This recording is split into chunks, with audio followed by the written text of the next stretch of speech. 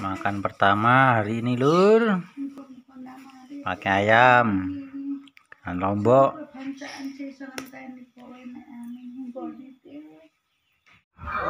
Ya, ini menu kedua, snack acara halal bihalal di Karangbangun, Talun Karangbangun Matesi.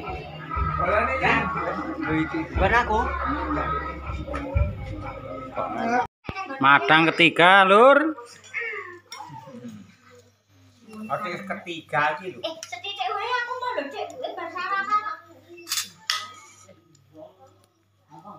Iya lontong ora kan. Wis ada sik kon yang lontong. Padet kok. Lah iki bojoku glo iki lho madang. Hmm. hmm. Madang neh lur, lawe iwak neh lho, jangan lombok karo iwak. Sopo kok pratu iki?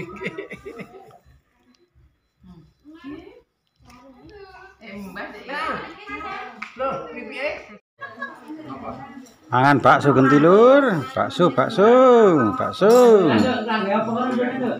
Ger, ger.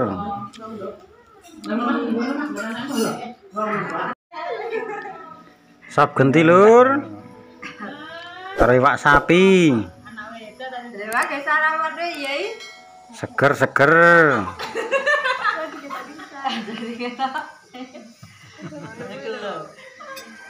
Anak wedok madang, gendang lemu awake, bodot-bodot madang sing akeh.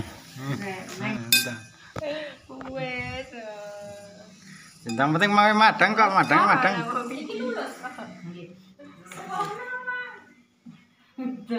Dolan ndak kena duit dewa. Mangan bakso neh lur, wis pokoke wetenge dibaki, gendang lemu.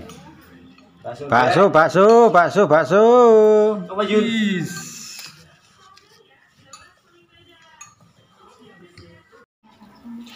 Suguhe komplit tenan iki lur, 19 macem yo, yo karek milih yo. Komplit plit pokoke. 20 macem.